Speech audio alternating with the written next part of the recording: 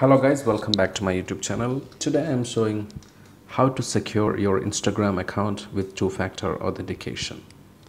So first of all, log into your instagram.com. Right now I am showing this on desktop version.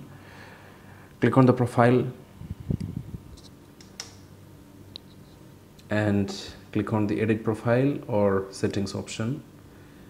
Under the edit profile, you have security privacy and security option. Click on the privacy and security option.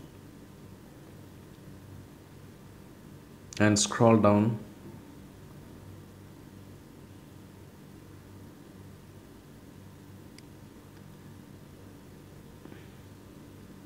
Under the account data and there is two-factor authentication.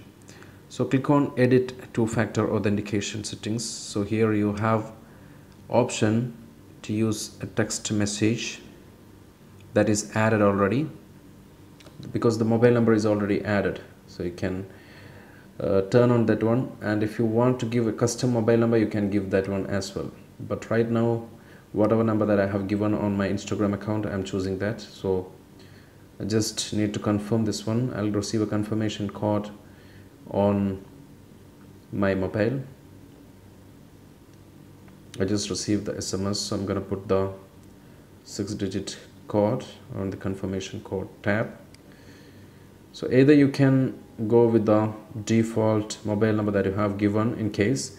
If you didn't give the mobile number on your Instagram account you can provide a new mobile number so that the code will be sent to that number.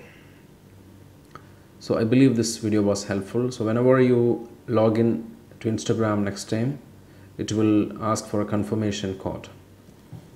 So i believe this video was helpful guys. Thank you for watching. Subscribe the channel. Click the bell icon for notification. Take care. Goodbye